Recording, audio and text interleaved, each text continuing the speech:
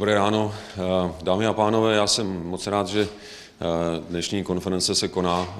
Jsem rád, že mohu říct na úvod pár slov. Krásou úvodního vystoupení je to, že nemusí být logicky strukturované a že si mohu dovolit několik nesouvislých poznámek.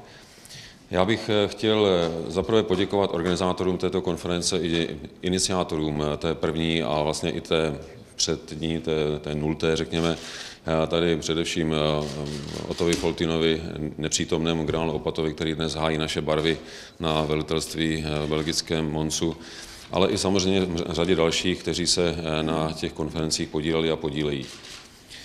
My jsme dnes sice na půdě poslanecké sněmovny, tedy na výsost politického orgánu, a mi by se chtělo říct, vítejte všichni přátelé politické nekorektnosti, protože o, o té by asi konference tohoto druhu měla být, protože bez toho, že budeme nazývat věci pravými jmény, bez toho, že se budeme snažit vidět věci v reálných souvislostech, se asi nedá posunout dál konferenci, kdy jsme se navzájem ujistili o tom, eh, že v obecné rovině vnímáme rizika, vnímáme eh, potřebu něco udělat, eh, bylo hodně.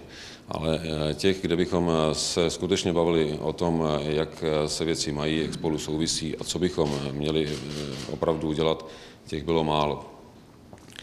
Já jsem rád, že jsou tady dnes přítomni především páni profesoři Barta a Kovář, protože z mého pohledu ti jsou velice přitažlivě politicky nekorektní a já si myslím, že právě takto by ta konference měla probíhat. My dost často přivíráme oči před tím, co se kolem nás děje, a jakkoliv bych nechtěl strašit veřejnost, tak jak tady v úvodu zmínila Martina Kociánová, že už jsme to společně dělali před dvěma lety, tak v dnešní době jsme tak trochu podobní těm lidem na palubě Titaniku, kdy pod čárou ponoru máme řadu děr a na palubě se stále ještě tancuje a stále se chceme přesvědčovat o tom, a teď mi promiňte tu narážku, že ano, bude líp, místo toho, abychom si řekli, že pravděpodobně nebude líp. A těch děr, těch děr pod čarou ponoru je skutečně víc, ať už je to změněná politika Ruska, ať je to vznik fenoménu islámského státu, ať jsou to problémy menšin na území Evropy a budoucnost, jak s nimi naložíme, nebo oni s námi. Ať je to udržitelnost nebo neudržitelnost konceptu sociálního státu, který samozřejmě bude do značné míry ovlivňovat to, jak bude naše realita do budoucna vypadat. To všechno jsou věci, o kterých bychom si měli promluvit s naprostou vážností a nepředstírat, že ty problémy se nás netýkají anebo dotýkají až vzdáleně. A když říkám předstírat, tak, myslím, to myslím úplně vážně, protože byť máme občas upřímnou snahu posunout věci v této rovině dopředu, tak nakonec vždycky skončíme v lepším případě na poloviční cestě. Zmíním se teď o obraně, kdy jedním z takových dobrých impulzů bylo svolání konference na Hradě v březnu loňského roku, kde jsme se chtěli pobavit o otázkách obrany velice vážně. Nakonec skončila s mírnými rozpaky a nevzešlo z ní to, co jsme chtěli, tedy univerzální kontrakt o obraně, na kterém by se shodli zástupci všech hlavních politických sil v tomto státě.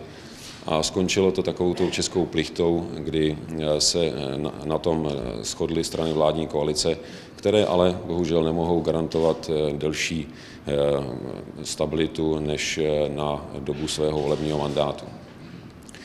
A v dnešní době, přestože tedy máme tady příslip nějakého navyšování výdejů na obranu, tak na druhé straně dochází zase k odlivu peněz z obrany, nebo alespoň k náznakům odlivu peněz z obrany. Vys poslední příklad rozhodnutí o tom, že peníze z prodeje nepotřebného armádního majetku nepůjdou na reinvestice do obranných schopností, ale budou se vracet zpátky do státního rozpočtu. Je tady zatím příslip slovní, že tyto peníze budou refundovány navýšením rozpočtu na obranu, ale uvidíme, jak nakonec realita dopadne. Takže bych jenom chtěl říct, že jsem opravdu moc rád, že konference tohoto druhu se koná, že bychom měli mít podobnou možnost častěji, abychom se dokázali oprostit od toho krátkodobého pohledu limitovaného následnými volbami a podívat se na trochu větší vzdálenost já tady jenom zmíním teď moji poslední eh, zkušenost. Já jsem se v neděli večer vrátil z cesty eh, po Izraeli, kde jsem měl možnost mluvit se eh, zástupci bezpečnostní komunity, podívat se na Golany i na další místa.